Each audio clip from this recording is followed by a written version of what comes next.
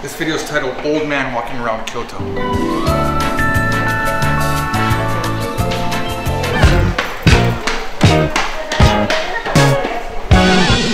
All right, we are at a bus stop and we're gonna be using our Suica. My Suica is attached to my phone. If you have an iPhone, you can easily add your Suica to your phone.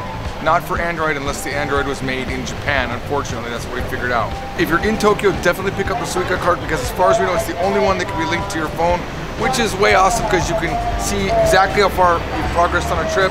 You can see your history and you can easily charge it right on the phone. This is not our bus, but we will be getting on momentarily. There's a little green light on the top of the door. That's where we're gonna tap our phone or your card. We are waiting for the 207.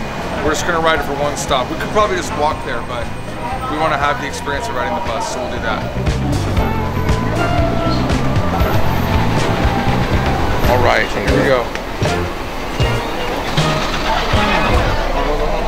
どうしたの That's the mine. Ah, so let's go. We were getting on on the getting off spot. Also, we were on the wrong door. はい、入り口に立たないで奥の方へお願いします。東北へ参ります。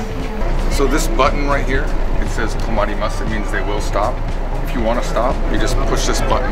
Normally in the big city, everyone's stopping at every stop. But if you're in a bus with not a lot of people, you want to make sure there's this. Or older buses might have a rope going across that you pull down. Buses.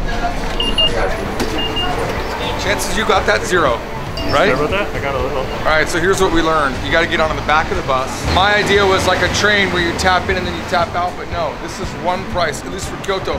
Every city's gonna have a different system, I'm assuming. Some systems, at least 20 years ago, which I imagine these systems still exist, you'd pull a little paper ticket, and then at the end, that ticket number would determine how much you would pay. Because it was so long ago, I imagine they've changed it, but it's very possible in the country because they don't have the money to upgrade their system that they're still using an older system. Regardless, I was able to use my phone on the way out, one tap. So if you're in Tokyo area and you're traveling to other areas, make an effort to get a Suica card, not any other type of card, because that's the only one that can go into your iPhone. Also, if you have an Android, throw it in the river and get an iPhone because they're better. Androids are shit. All right, we're on the escalator here in the Takashimaya. I just actually added 2,000 yen to my Suica card, but we're gonna do it again just to show you how. Once it's inside of your Apple Wallet, you just click add money. You put an amount, I'm gonna put 500 yen. Click the add button up there. Of course, you have to have a credit card already established in your Apple Pay. Here we go, give it a second. Done. Now my balance should go up to 2,900 here in a second. Excitement, boom. That's all because we have a Suica card. If you did ICOCA, not gonna happen. If you have an Android, you're a piece of shit. now we head to McDonald's. About that McDonald's there, Mike. What do you think? No. No? All right. No. Okay, I'm not into Chinese food, but wow, this is a cool Chinese restaurant. It's almost like they took over some sort of old like embassy or church or something. Okay, that's cool. You can just be out here.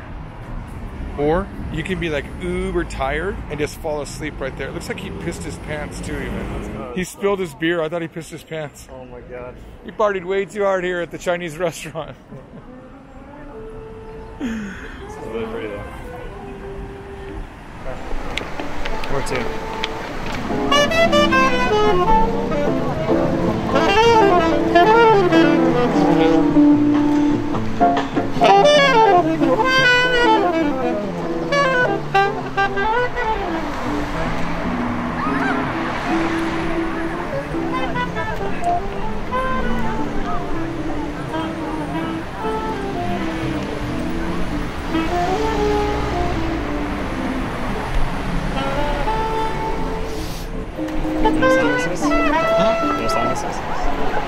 In other words, right? Yep. Sinatra? Yep. Is it all of me? All of me. Wait. Nanti. Nanti. My name is George. No, chiga. Title. Title. Title. Um, Fly Me to the Moon. Yes. Ding, ping pong. Fly me to the moon. Ping pong. I should just start singing over there. Jeremy. I dare you. I won't. You're good. I don't want you to. Hey, they have a Book Off. One of the seriously one of the greatest stores ever. If you're looking to buy manga and you don't want to pay full price, just go to a Book Off because the Japanese people have read them. They just sell them cheap there. I didn't see where it was. Did you see where it was? No. I don't know. I'm always lost. Damn it. That's the one I was talking about. Maybe we can go to do this one at night. Fushimi Inari Taisha. I only went there once in my entire life. You know the big problem with going to Fushimi Inari at night? Hmm. We don't have lights. Oh yeah. And I didn't bring my lights with me. Want to cross over here. Either side looks good, but that side for some reason looks better. Because you know what they say, the grass on the other side is always greener. Is there grass over there?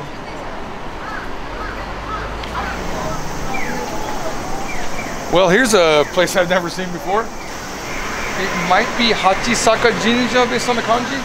Eight Hills Temple. Yasaka, Yasaka, sorry. Yasaka. Yasaka. Yasaka Shrine. Do you want to go in, Mike? Maybe after we eat, or God, I'm so hungry. No, you're right. Let's go this way and see if we can find some food. Hey, welcome to the Kyoto tour where we do nothing like going to shrines. We're not going into any shrines the entire trip. We're gonna show you every part of Kyoto that is not a shrine. I know you complained about my smile, but I'm working on it. Ready? Because I have braces, now I can smile. So it's like, but I haven't smiled in a long time. I would be, I would be like, that was my smile. Now I, I have straighter teeth, so it's like, is that weird? Weird? No, I mean Alright. that's amazing. Any interesting information about this machine? This is a Jido Hambaiki, which means automatic, automatic sales device. Back in the old days, a man used to be inside and you would put the money in, he would count the change, make sure that you had it, and then he would push the drink out based on what number you told him. That was called a Shudo Hambaiki, a manual sales machine or a store when I was younger, they used to have like a game, and there would be like a little. Maybe we'll see it in the countryside, where you could win another drink. It was kind of cool. It was like a lottery system. You could win another drink. Sometimes, if you're lucky, you could win other people's change when they forgot it too. Arigato. We just found a reptile cafe. I think we should go in. What do you think? Yeah, that sounds good. I see some reptiles. B-roll slash the actual anime. That was actually really, that was really enjoyable. Mm-hmm. I really enjoyed that. We still haven't eaten No, we haven't. after all this effort. All right, let's go. Looks like just a pizza place. You want to do just pizza or you want to try That's that? fine. Fine with it. I would get a margarita. That's my style. Margarita sounds good. All right, let's do it.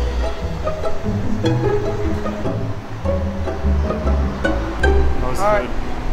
How was Oh, it was really good. So, so you're thinking McDonald's apple pie? Hell no. No, Not yet. No. Too early. Too early. No, we were gonna keep going this way. Oh, Here, let me look it up. Cause I don't know where the frick we are. where the frick are we? I see what's that. Kiyomizu Dera. This is this auto closes, right? Yes. します。はい。随分綺麗なタクシーですね。普通より綺麗。これ個人タクシーですか？えはい。あ、だから。Alright, so we're gonna go to Yasaka Jinja because he thinks that the other place will be closed. This place is still lit up, so we'll see. We'll see what it looks like.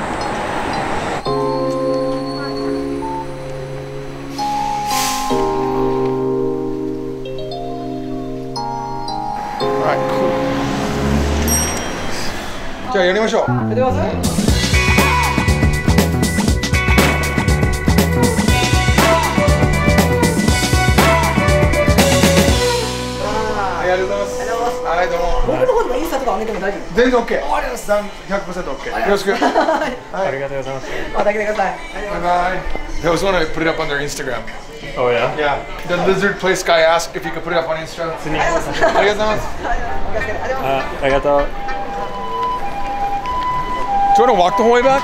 We can, yeah. Let's try. All right. Wrap it up in front of this guy. And the sirens, it's very dynamic.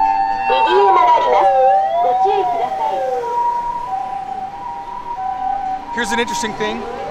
Japanese uh, kyukyusha ambulances can't run the red lights unless they change that law. It used to be they had to wait at a red light, and cars won't instinctively pull aside for them. Like in America, we have to do it, and it's a huge fine if you don't. Not the case here. Same in uh, I think the same thing in China when I was there. It's like they're just going so slow. I'm like, these people are dying, and they're just like obeying all of the traffic laws. In America, you can go on the other side of the street and go, and you can break all the traffic rules for an ambulance. Not here though. All right, well that's it.